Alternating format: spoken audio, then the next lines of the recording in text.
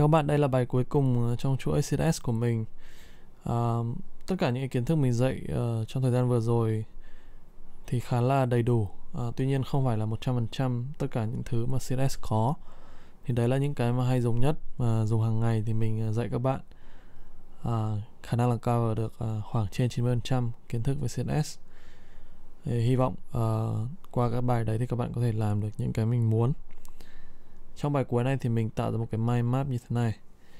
Với mục đích là mình tất cả những cái nhánh này này ví dụ như colors này uh, units icon zoom lên tí nhá. Rồi fonts color các thứ đấy. Thì những cái đấy là mình lấy từ bên chuỗi design UI design của mình làm ở đây từ bài 0 cho đến bài 21 vừa nãy mình ngồi mình vẽ ra một đống xong rồi cùng là lưu lại à, nó chưa kịp lưu ấn nhầm nút back cái mất luôn nhưng mà cũng có được những cái phần này để mọi người tự điền nốt các cái nhánh vào đây.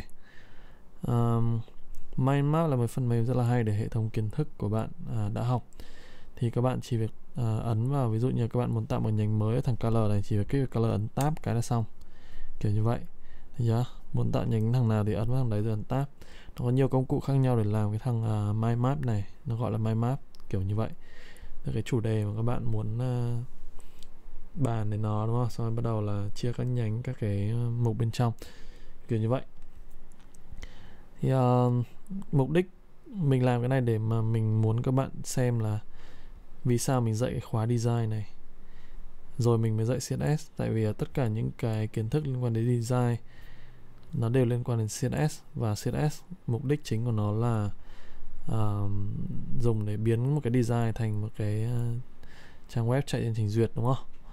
Đấy, thì không có lý do gì mà không biết về design rồi mới làm CSS cả. Như thế các bạn hiểu sâu hơn về vấn đề. Thì ở đây, ví dụ color thì nó liên quan đến những cái gì ở trong CSS ở đây? Ví dụ border color, background color, text color, đúng không? Solid rồi gradient. Những cái đấy mình dạy ở trong cái khóa UI này hết rồi.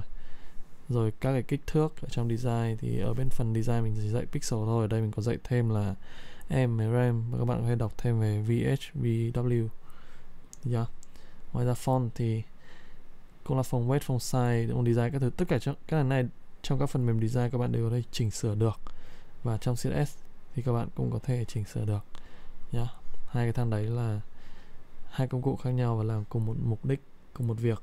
Với nhá CSS thì hay hơn là cái là nó có thêm mấy cái uh, tương tác uh, các trạng thái khác nhau nhưng các bạn cũng có thể làm được với các phần mềm design khác. Đó rồi đến icon nữa đúng không?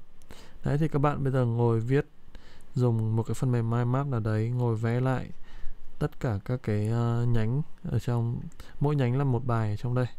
Và xem liên hệ đến cái kiến thức mà mình đã học ở CSS như nào. Thì các bạn sẽ nhớ rất lâu và không bao giờ quên.